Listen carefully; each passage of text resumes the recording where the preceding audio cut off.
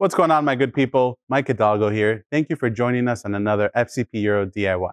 Today, we're going to be working on a 2008 W211 E63 AMG.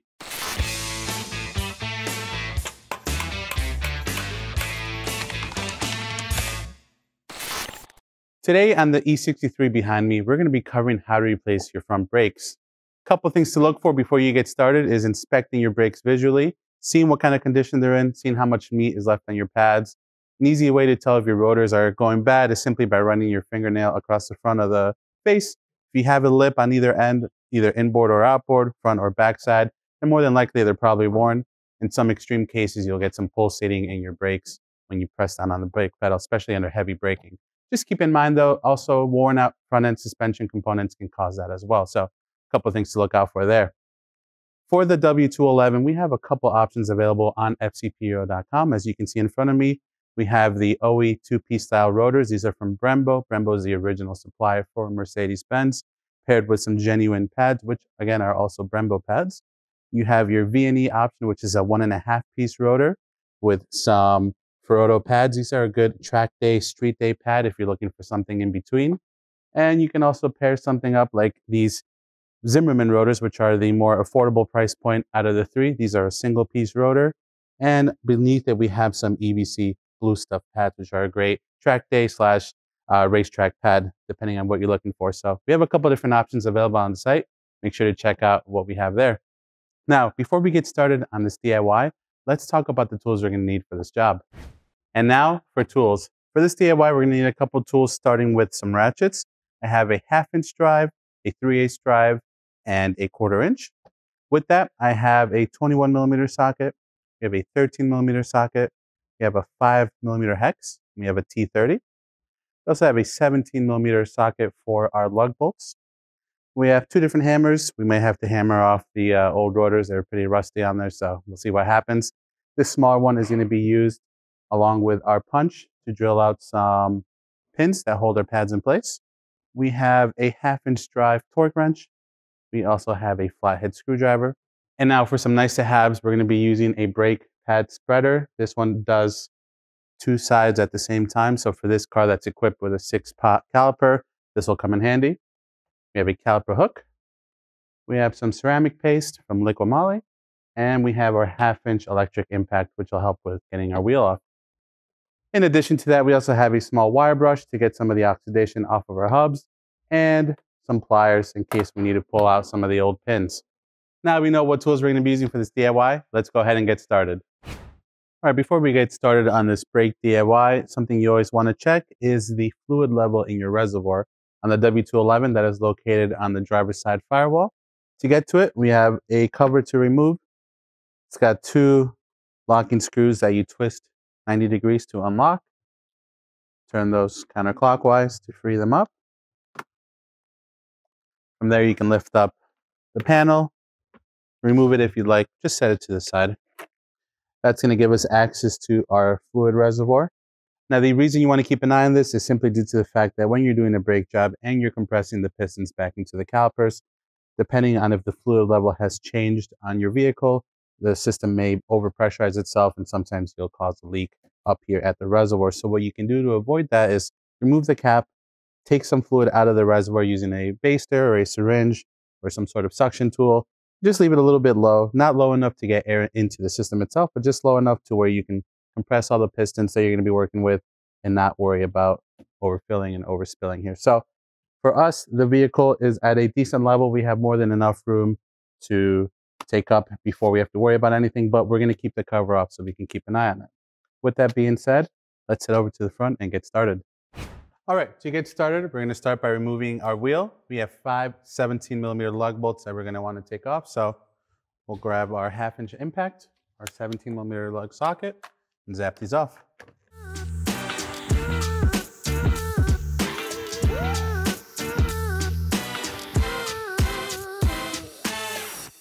All right, now with that off, we have a better view of where we're gonna be working. So I'm gonna grab a trash bin, just something to catch all the debris that I'm gonna be dropping here because we're working on the shop today. And then we'll go ahead and get started. To get started, we're gonna start by making sure that we can break free our rotor set screw. That way when we come to remove the rotor, that doesn't hang us up. So I'm to use the caliper in place. I'm to take a flathead screwdriver and just stick it in one of the vanes. And then I'm going to grab my T30 on my quarter inch ratchet and break that free. One thing I like to do with these Northeast cars that we have here is set the bit in place and give it a couple taps with the hammer just to break free any uh, rust or anything that may be binding it up. A couple taps.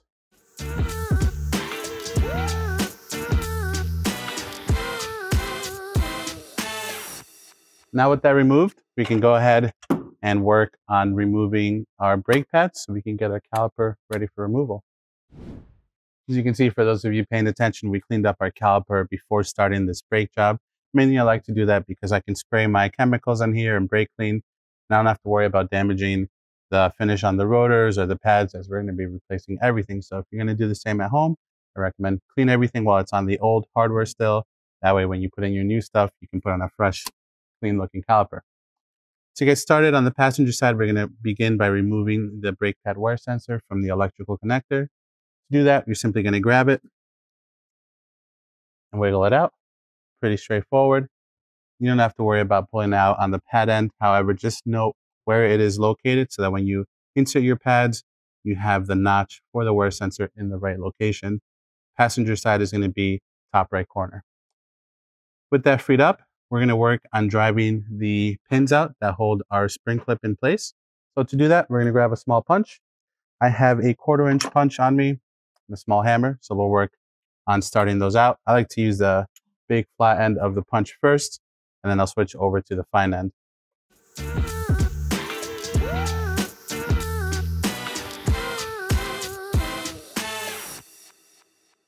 These brakes are pretty crusty, so I'm going to use my small pliers to pull the pins out. We're also going to be replacing the hardware, and by that I mean the pins and the anti-rattle clip. So there'll be a link in the description below should you want to do the same as us. So you can see it's a good thing we're replacing these because these are bent. These have been in there for quite a bit. They're probably original and they've seen some, some heavy braking. So we're going to go ahead and replace them. Normally they are reusable though. And we can drive out our top pin. Now it should be pretty loose. And assuming it's not bent, it should come out no problem. This one looks nice. Here's our clip. Now we have the retaining pins removed and the anti-rattle clip. The next step is going to be to remove the center bolt that holds our pads in place. To do that, you're going to need a 13 millimeter socket to get the 13 millimeter bolt out back. I'm use a 13 on my 3 8 drive ratchet.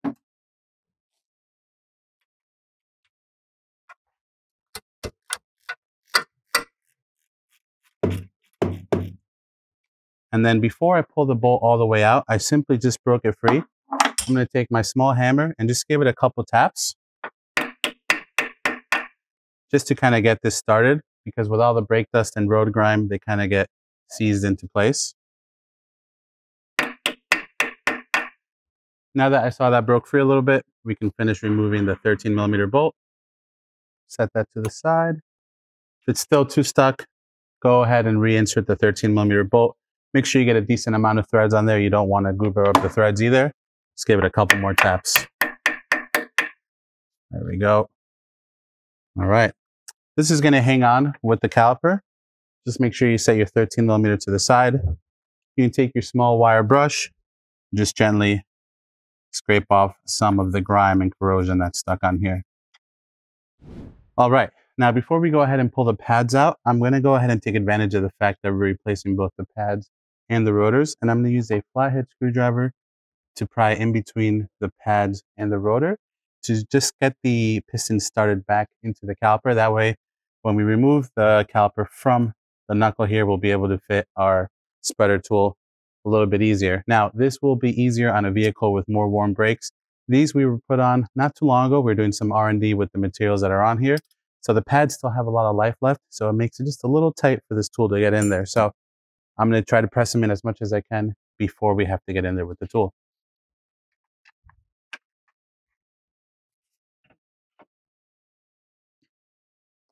Right now I'm just prying against the pads themselves. I haven't even gone and touched the rotor yet. So if you're just doing a pad replacement, you can pry on the pads.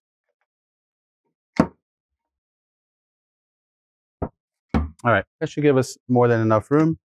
We'll go ahead and pull the pads out, but we're gonna hang on to them because we're gonna use them with our caliper tool to press our pistons back in. So don't throw them out just yet. There's one. Try to pry against the old hardware before you pry in your caliper. These are pretty rough shapes, so we're not too worried about marring up the paint, but just because they're ugly doesn't mean you should treat them poorly.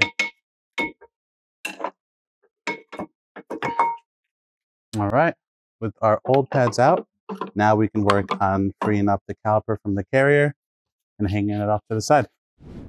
All right, now we're gonna wanna go ahead and remove our caliper so that we can get to the next component being our rotor. So to do that, we have two 21 millimeter bolts that hold the caliper to the carrier. I'm gonna use my half inch drive ratchet with my 21 millimeter socket. And we'll work on breaking those free.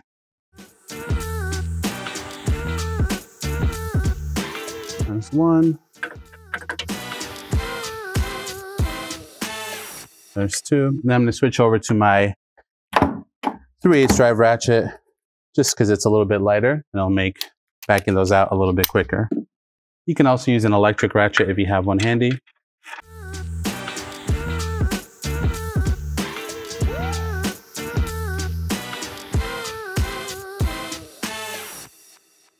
Get my caliper hook situated before I pull that last 21 millimeter out. It's gonna hang it off the upper control arm here. All right. Now we can go ahead and hook our caliper off to the side and I'll be more than happy there. With that off, now let's work on removing our rotor. As you remember earlier, we went ahead and removed the set screw. Now I already know these are gonna be seized on there, so I'm gonna grab one lug bolt and just thread it back in. That way we avoid crushing our feet or our hands when they fall when it falls off. Then we'll grab a big hammer, give it a couple whacks, and get that off.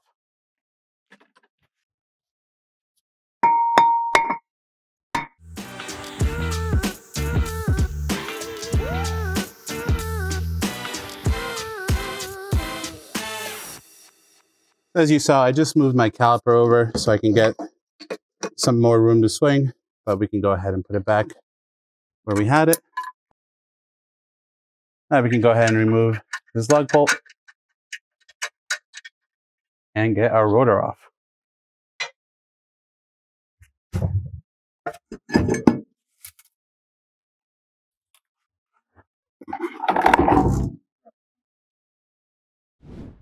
We're going to go ahead and apply a Liqui-Moly ceramic paste. The idea is to put this where the rotor sits on our hub. That way next time someone does brakes, they don't have to go as ham with the hammer as we did today. Any excess after we put the rotor on, we can wipe off. Now I'm just spreading what I put on the main part. I'm not adding more material. Extra where the set screw goes. Those are always tricky, especially if you live the Northeast like we do.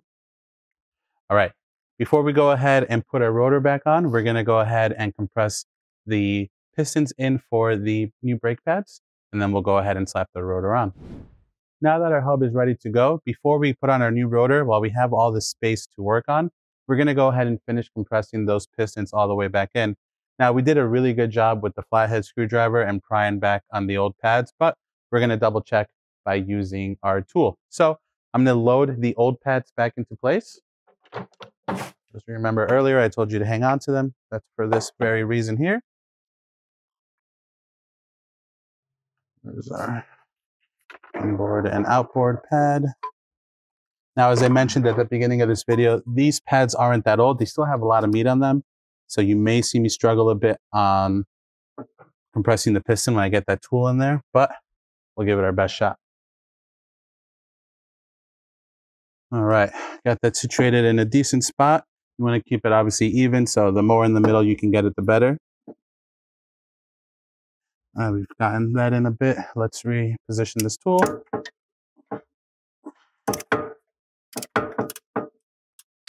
a little bit more even for us here.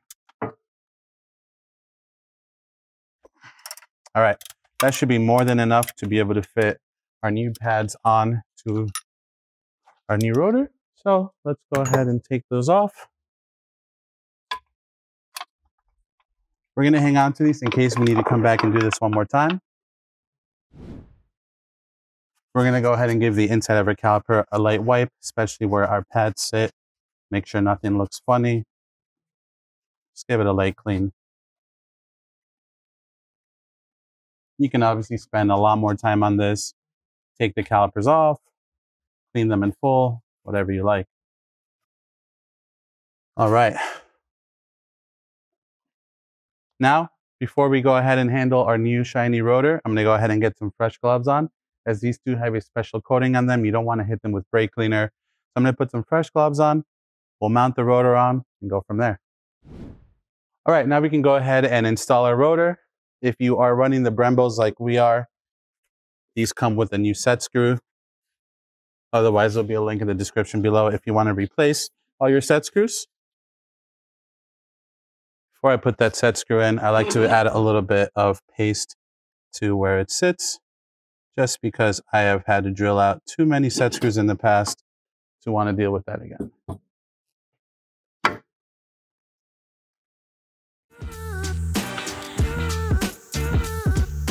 We're going to go ahead and torque those down to 8 Newton meters. Beautiful. That's all that needs. I'll encase that in the Liqui-Moly ceramic paste. It'll be beautiful. Now that we have that situated, we can go ahead and reinstall our brake caliper. All right, baby. Now we're going to go ahead and take our caliper off the carrier hook don't forget to take this off. Don't leave it riding in there. And we'll get our 221 millimeters started by hand.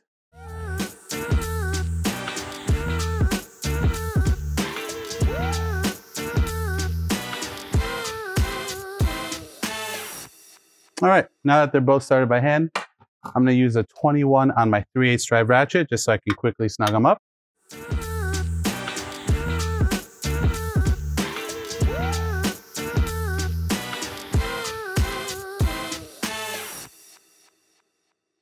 And now we're gonna grab our 21 millimeter socket, our half inch socket on our torque wrench, and we're gonna torque these down to 180 Newton meters.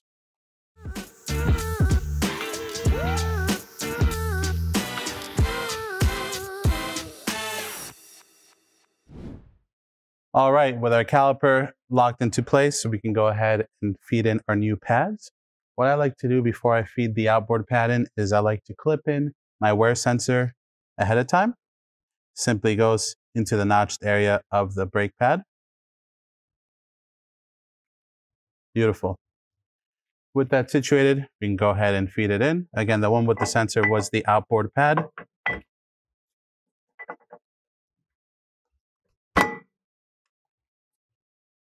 You want to kind of line it up so that you can look through and see the opening for the pins. So if you can't see through, then the pad is either too far in or too far out.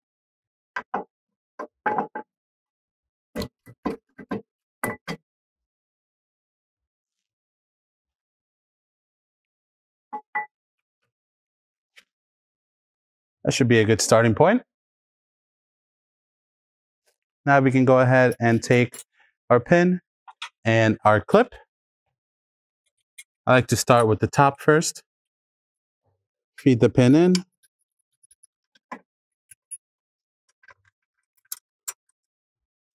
Feed it through the clip as best as you can.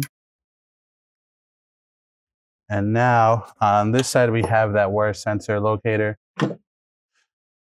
or socket, I should say. So we're going to use our punch from earlier and our hammer and drive our pin the rest of the way in.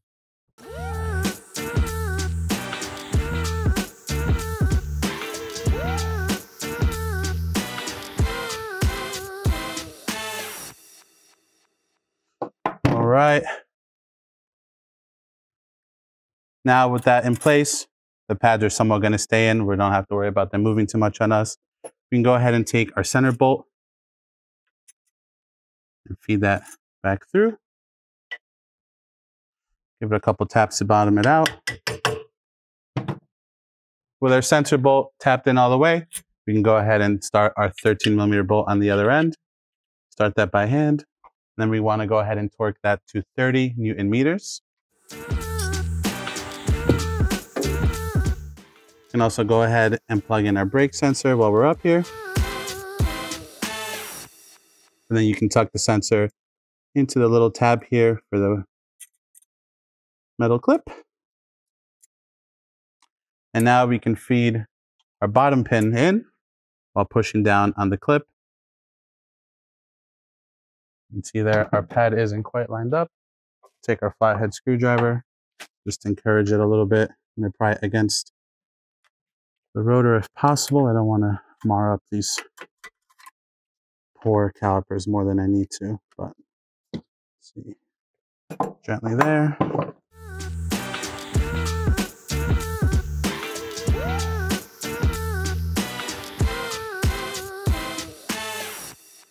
And there you have it, my good people. We are one step closer to wrapping up this DIY.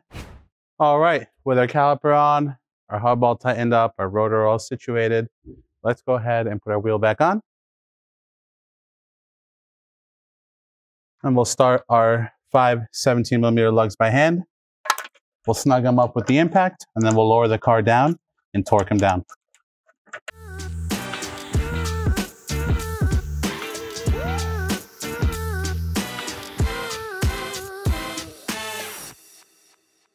All right, with those snugged up, let's go ahead and get the car on the ground and then we'll torque the lug bolts down. All right, with our 17 on our torque wrench, we're gonna go ahead and torque our five lug bolts down to 135 Newton meters. Make sure you torque them down in a cross pattern.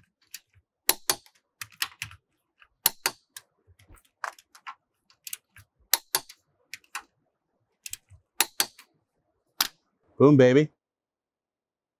And there you have it, my good people. Another DIY in the books. Overall, a pretty straightforward job. Brake job on the W211 and a nice upgrade going back to the two-piece rotors. If you like this video, please be sure to give it a thumbs up.